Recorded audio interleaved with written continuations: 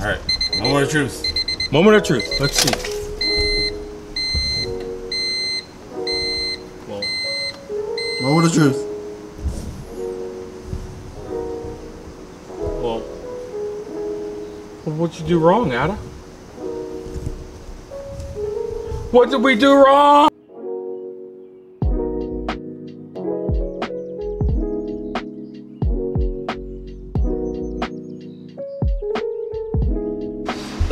We're back at Apps Electronics, and I am doing the instruction inside because it's raining and it's dark out. Plus, I got a new camera. Um, today, we're supposed to work on a Civic, so I don't know why these cars are in here, but let's just go ask Ada himself. Wherever the hell he is. What are you doing? We're supposed to be working on the Civic today. I'm going to work on the Civic. I am working on this Cobra right now. So why are you yelling at me? I have sensitive feeling. Feeling. I have one feeling left. You only have one feeling left. We should probably do a video on this car one day. Uh, yeah, we should. It's a really cool car. Anyway, besides the point, we need to be working on the Civic. All right, all right. It's time. It's time. Everybody's waiting. What's next coming on the Civic? I'm gonna show you right now. Well, I'm not gonna show you. I'm gonna put in this really cool camera. We're gonna go back right here, and Gary's gonna insert me in my Corvette right here, Here? right here. Right here. Yeah, you're gonna insert like a video of us in my Corvette with the rear view camera. Remember that? We did that? Yes, yes, I remember. Yeah. So we're gonna do that, insert it right here. This is the mirror in my car, right? Yep. It's like a regular rear view mirror that you would get in any car. Except for when you flip the switch, it's a monitor. Oh, look at that. Well, That's cool. it's cool. But the issue is, I need this in my Civic. You need this in the Civic. So, Yeah. what are you gonna do about that? I'm gonna show you. My friends at Voxx, they got a mirror that will work in any car, just like my Corvette. Check it out. So this mirror is made by a company called Gentex, and the mirror looks eerily familiar. Yep. Check that out. So, got your big mirror piece, cables that come off so you can hide it. Um, and it also comes with some really other cool stuff. You can add a reverse camera, which is different from the other camera, and I'll explain that too. Now, you're gonna get all these little pieces of plastic that come with the mirror, and they all work a little differently, and I'll, I'll explain that when we start to do the install. So you get all these plastic guys. Look at all these plastic guys. Cool. You're gonna get your harness. This is gonna be the harness that goes to the front of the vehicle, all the way to the back. You got the Gentex full display mirror, the manual, the manual, the manual, Yep. the manual, Manuel. the manual.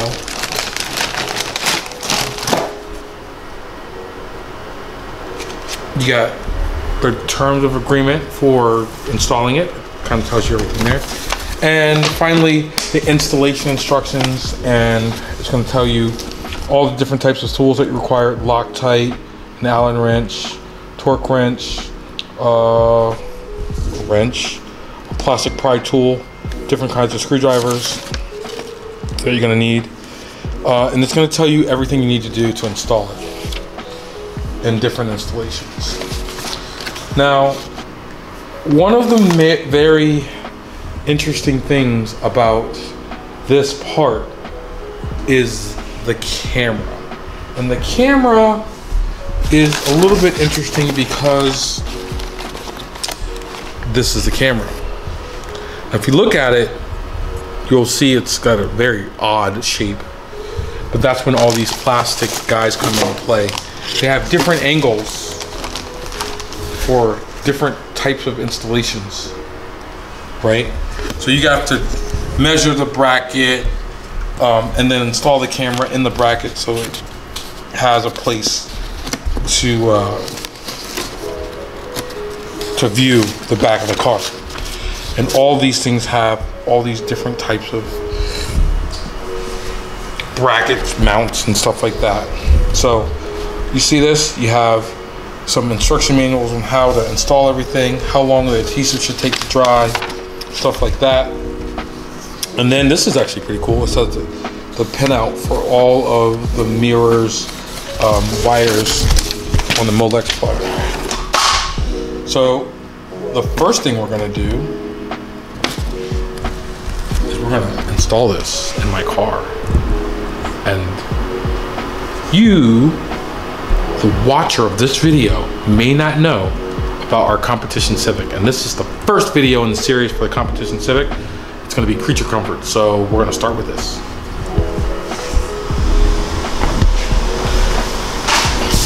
Are you still filming me again? Weirdo. So now we're gonna put that, what you just saw in my Corvette, in this Civic. All right, so you guys remember from my last video um, about the Civic, not the last video, because the last video was probably something not to do with the Civic. We haven't done a Civic video in a long time because we're behind on the Civic video. But the last Civic video, I broke the mirror. And that's because I wanted to make sure that this mirror and the new mirror would work together with the same mount, but it's not gonna work with the same mount. So this video, we're gonna show the installation of the mirror that I have for this car that is out of a Corvette like my other car. So here we go. I'm gonna throw this. I missed. So this cool mirror, this edgeless frame mirror that we have from Voxx, the guys at Voxx, thank you Al Fontaine and group for sending me this to put in my Civic. I appreciate it and we are going to do some badass shit today with it. First we have the mirror. We have the instructions. Um, and if you guys don't know Gentex, Gentex is a premier uh, uh, manufacturer of some badass equipment. Uh, and we are going to install this today. So this will go on the inside of the black glass and then we're gonna have the camera thingy run around. It gives it a much cleaner look. Yeah, it does. All right, so it looks like there are multiple harnesses that go into this. What they are, and I think this is a camera input. We're going to do a front camera because car's low as fuck, and we don't want our low ass car to hit curbs and be disgusting. All right, so first thing we're gonna talk about is you get these three different cables, and these are called FAKRA connectors. FAKRA. FAKRA, FAKRA connectors. And what they are, are connectors that connect between the front camera here. You plug this guy into here like this, just like this, and the rear camera in the back, just like that, right? So we have a couple different sizes. I'm going to start with the smaller size because I do not want like extra wire hanging out. So there's three cables that came with it. I tried all three. This one is not long enough, not even by any stretch of the imagination. This is the medium sized one, this is what we're gonna use. This long one will go into storage because one day we will need a long ass FAKRA, I said it, FAKRA connection. So here we go. So we're gonna start by tucking this in very neatly into this panel. So kind of silly to do this because this whole headliner is gonna come out at some point. We're gonna have to put a new headliner in. All right, so I'm old and fat and I'm going back here.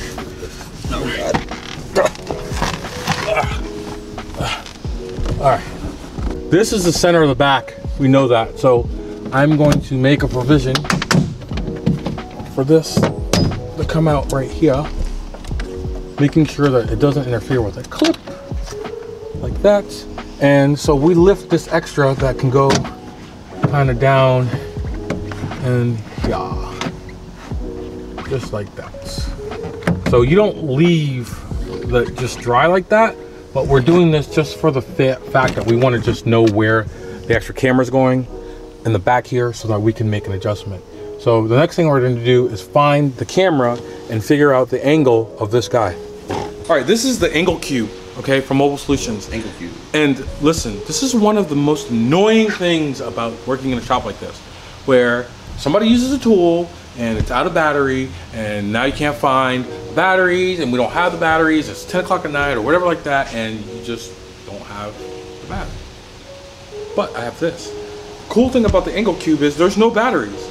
You're gonna plug this guy in, and you're gonna charge it with a USB, just like do this, and we're gonna plug it in and it will charge these.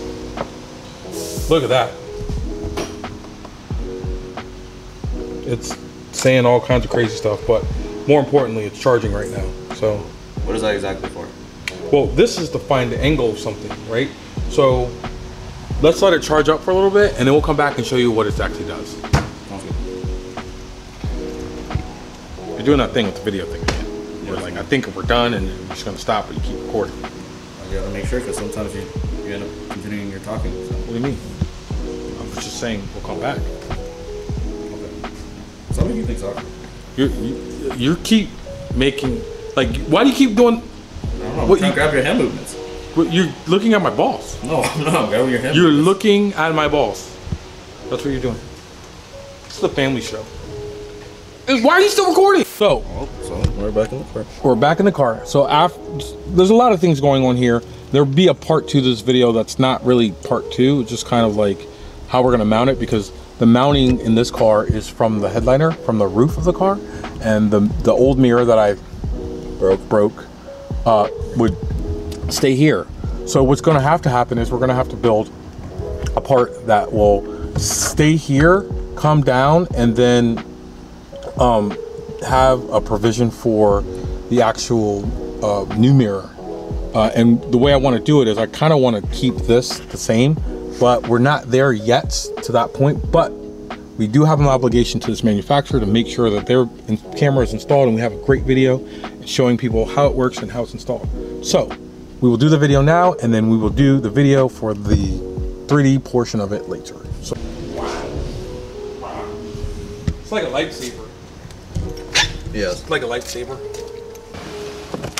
That I have to do is I have to get a fish tape because it's a long way. All right. All right. Physical activity sucks. All right. Or you take off the side thing, and that's what I'm gonna do. Take off the fucking side thing because this is not working very easily. So I'm gonna take off the side thingy and I'll be able to go down. Okay. So it's gonna be way easier. And it's just literally one screw, so let's do that. Let's do that. One little itty bitty screw that's over here that I have to take out.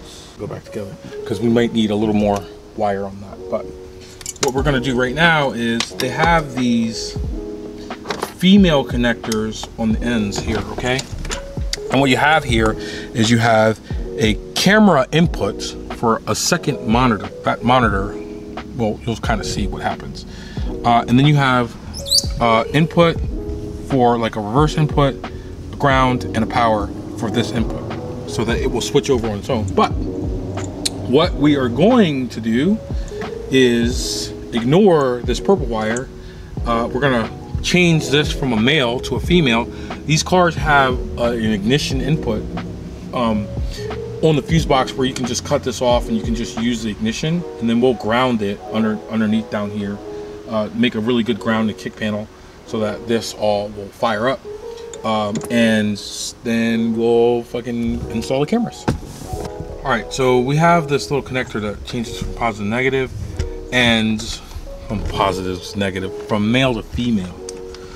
And I just need to cut this off, make this connection here, and then slide it in there, make our ground, and then we actually have power for the entire thing. So I'm gonna do that now. Make sure it's nice and tight. Gotta have tight connection. All right.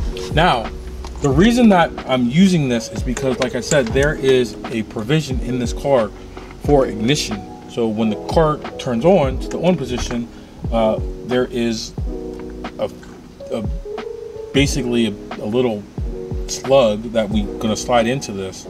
It's gonna give this power. When the key's on, now I just need to make a ground in the kick panel here. So take this guy Grab those factory bolts.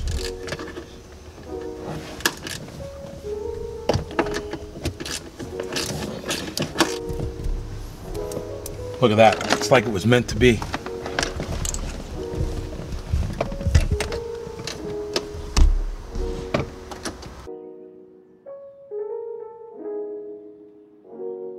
We're in the hole. Okay. So, oh. We're in the hole. Whew. I'm hot. And there's two ways to test it.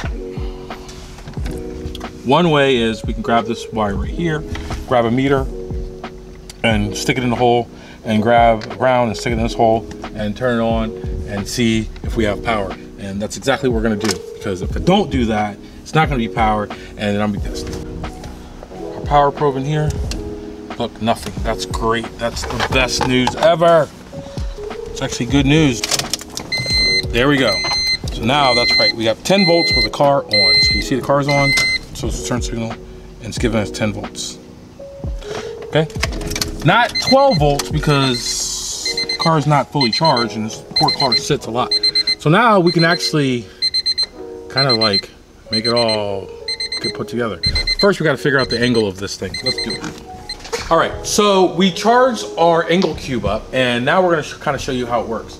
And we're gonna show you uh, in a very simple way, where we are on this incline. So let's zero it out. We'll zero it. We zeroed it out at an angle just so I could show you how to zero it out.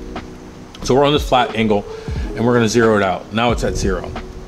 So basically, we can adjust for the angle that we're looking for. And the reason that's important for this particular job is there are different angle angled parts. See this? They're different, so let's zero it out. Zero it out this way. Zero it out. So the problem is, is this guy's moving a little bit. Let's zero it out. Zero, right? And now our angle here is 17 inches. So this is about 17 inch incline. What I'm going to try to look for here is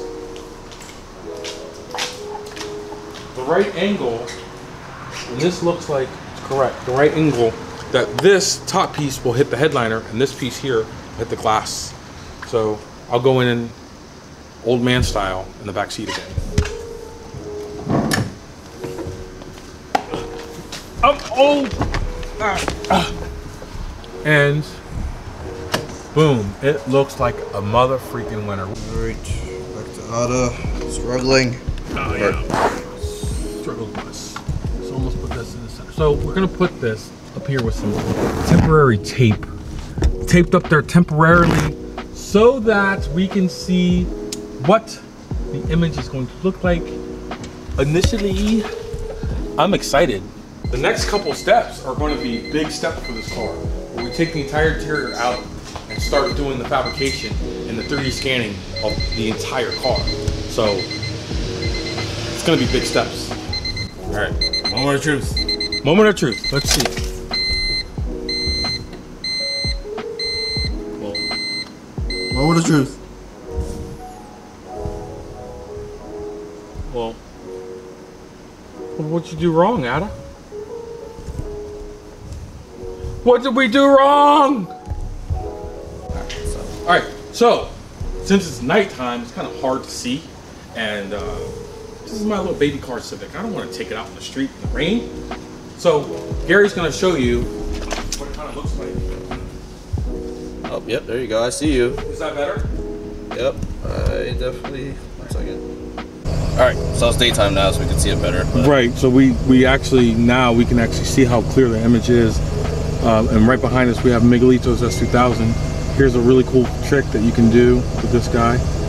We can pan up and down on the actual mirror, right? So that's a giant ass stupid Honda wing, and you can kind of like get it in your view or get it way in your view, just depending on what, you, what you're trying to look at. So I thought it was really cool. You can also do uh, your red, blue, green um, color changes as far as like the picture's image. So we're halfway finished with the installation, and what we need to do next is the most important part to me, which is the front camera. This car I've ordered a carbon fiber front lip for, and I want to make sure that carbon fiber lip stays in one piece without any stress marks. One of the most annoying thing is to buy a really expensive part and just wreck it parking. Not wreck it like driving or racing, just parking. So next is the front camera. Here we go. All right, so now we have our front camera and we need to find a really cool place to put this that's kind of discreet. And I'm thinking right here under the bumper. Three. Pilot zero, hole. One, Pilot hole. seven, two.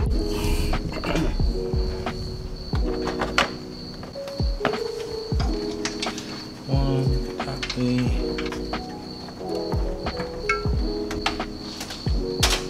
Into the car. Three hours later. All right, so three hours later. Three hours later, we figured it out. Okay, so this mirror has dual monitor capabilities. Like we were talking about, we put a camera on the front of the car. You got to turn on. You've got to turn on the actual uh, other input. So we tried doing it by the instructions. The instructions say flip this to forward and then count to 23 to 27 seconds and it will toggle that on or off. The problem is we weren't counting enough. So what I suggest is doing what we're gonna do and that's this. Hey Siri, make a timer for 24 seconds. So we're gonna start this. And when this hits zero, we're gonna have this toggle to on and Gary's gonna show you When we hear, we're gonna have to hear the uh, timer go off. Now we're on. You see that toggle's on? Yep. Okay. Now, what we're able to do, we can put this back into monitor mirror mode, and obviously you can't see anything. It's nighttime. Shut up. Um, what you're going to do is, um, you're going to make it so that you can actually toggle that on and off. Now, what we got going on in here is a car that I do not want to add another button uh, to toggle the front camera on and off. So what I've done is I went and I found that my cruise control, if we go to this green wire here, when I hit the cruise control button, let me ground this guy. And here, Gary, you can look at my meter here. It's at 10 volts because the, the, but the light is on here. Once that light turns off there, we get no voltage on the actual meter. So what we've done is, now you're watching that camera, we're gonna, we've already stripped this wire back because by the magic of television, we're gonna connect our wire, that's our toggle wire, to this guy, just like this. Okay. And the next thing we're gonna do is we're going to hit this button here, the cruise control button, and we're gonna get our front image.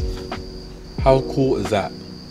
Now, this is something that you can do, and I thought about this because you have this trigger. This trigger that you have, you can actually add more cameras to this. You can do a blind spot camera on either side of the car. You can do another camera in the rear. You can do all kinds of crazy crap with this um, because this is another input. It's not dependent on the main screen. So the main screen you could still have, which is your rear view camera, your rear view monitor, and then you can do right left on this guy. This is really freaking cool, and this is something that you can add on a lot of different cars, and just with a little imagination and a VS41, you can make it do whatever you want. A VS41 is another part from another manufacturer, but I'm sure Voxx makes a multiple camera switching unit that we can put into play here. So it's really cool that we can do that. So super duper innovative stuff from Voxx and Gentex. Thank you guys. Um, we're going to, the next video you're going to see, we're going to print a mount for this this monitor so it goes kind of in the same place it's supposed to, but has the same um, kind of metal stationary mount that you're gonna uh, mount this guy to. So stay tuned for that. Until next time, see you later, bye.